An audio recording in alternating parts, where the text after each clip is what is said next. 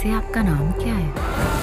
मेरा कोई नाम नहीं लेकिन मैं भाईजान नाम से जाना चाहता हूँ। नमस्कार दोस्तों सलमान खान के फैंस के लिए काफ़ी खुश कर देने वाली खबर आई है। जी हाँ दोस्तों सलमान खान हर साल ईद के मौके पर अपने फैंस के लिए एक फ़िल्म ज़रूर रिलीज़ करते हैं। इस साल भी अभिनेता ने मोस्ट अवॉर्डेड फ़िल्म किसी का भाई, किसी की जान रिलीज़ की है। 21 अप्रैल 2023 को सल्लू मियाँ की मल्टी स्टारर मूवी सिनेमाघरों में रिलीज़ हुई।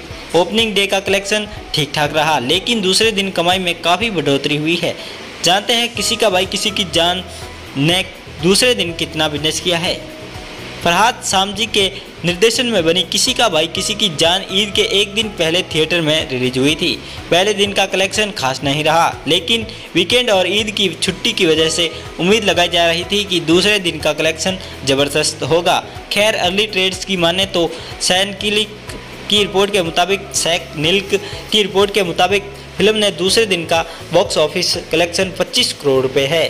शनिवार को फ़िल्म ने ताबड़तोड़ कमाई की है। फ़िल्म ने पहले दिन से करीब 10 करोड़ रुपये ज़्यादा का बिज़नेस किया है। इससे सल्लू मियाँ का क्रेज साफ़ देखने को मिल रहा है। ओपनिंग डे का कलेक्शन भी नॉर्मल था। तरण आदर्श के मुताबिक, पहले दिन सलमान की फ़िल्म ने पंद्रह पॉइंट इक्यासी करोड़ रुपए की कमाई की थी। सलमान खान की किसी का भाई, किसी की जान में कई सितारों ने अपना डेब्यू किया है। सलमान खान के अपोजिट